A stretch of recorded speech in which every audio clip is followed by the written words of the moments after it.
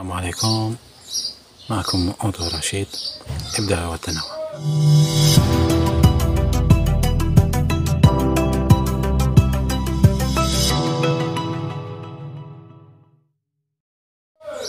كما راكم تشاهدوا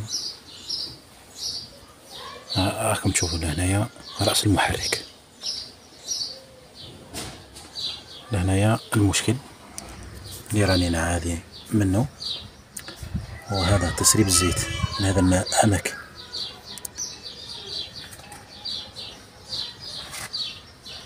كذلك هنا. هنا. هناك تسريب للزيت. الأماكن يجب معاينة هذا التسريب في كل مرة. الإنسان ما يستهزاش التسريبات هذه تاع الزيت. آه على فكرة هذا هذا الزيت اللي راه سايل منا عندما قمت بملء الزيت في آخر مرة غيرت فيها الزيت انسكب الزيت. معناها هذا الزيت قديم. أما هذا جديد. هذا ناتج عن قدم أو تآكل جوان تكيهات كما يسمونه إخواننا المصريين جوان التاكيهات أو جوان رأس المحرك أو بالفرنسية جوان كوبيتور هاك جوان كما راكم ترون في الصورة. هذا هو الجوان. هناك من يقوم عند تركيبه. بوضع المادة اللاصقة وهناك لا يضع المادة اللاصقة نضع المادة اللاصقة في حالة إذا كان هناك اعوجاج ربما لا يرى بالعين المجردة في هذا في المناطق هذه تحت هذا الغطاء البلاستيكي أي هذا الرأس المحرك. ممكن هناك أعوجاج. لذلك ذلك الأعوجاج يعوضه تلك المادة اللاصقة بحيث يمنع تسريب الزيت. أما إذا كان لا يوجد في هذا الرأس الألمنيومي هذا لا لا يوجد فيه أعوجاج فنضع الجوان وحده بدون وضع المادة اللاصقة. وأنا أفضل شخصيا وضع الجوان بدون مادة لاصقة أما في هذه الحالة في هذه الحالة قبل أن نفتح هذا الغطاء البلاستيكي كما قلت لكم قبل فتح هذا الغطاء وتغيير الجوان الذي هو آه، على ما أعتقد مئة بالمئة قد آه، فسد أو يبس يبس هذا ذلك المطاط كما ترون في الصورة. نقارن الجديد بالقديم أنه عند عند الضغط عليه يكون مطاطي. أما القديم فييبس لذلك يسمح بمرور الزيت. في هذه الحالة نقوم بتنظيف هذه الأماكن بمادة البنزين أو أي منظف.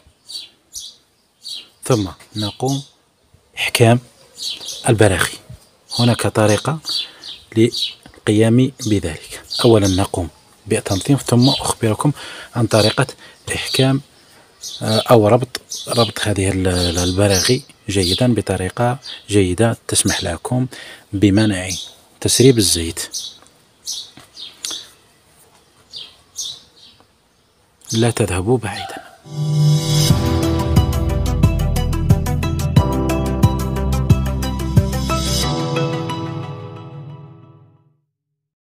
تذهبوا بعيدا.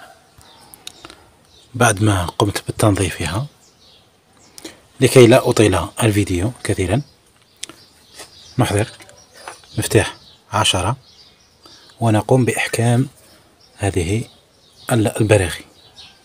قليلا وليس كثيرا لكي لا نؤثر على الألمنيوم باش ما نفاريش الفيطلاج. نتاعو تاع البولونوات. المهم نقوم بالإحكام بطريقة كروازي. هذا ثم هذا ثم هذا ثم هذا ثم هذا ثم هذا ثم هذا ثم هذا.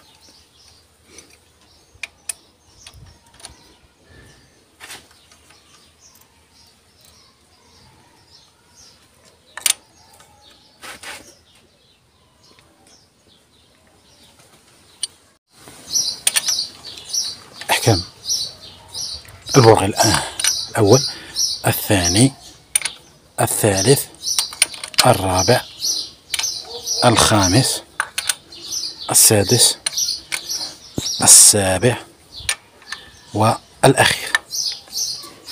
بهذا أكون قد قمت بإحكامهم جيدا. حالة ما إذا قمتم بتجربة ذلك ولم يتم إحكامها ولو قليلا يعني أنهم وصلوا إلى حدهم الأقصى من الإحكام.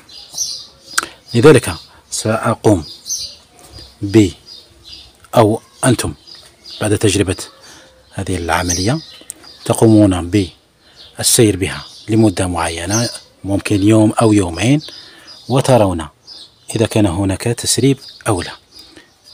إذا لم يكن تسريب بها بهذا نجحت العملية.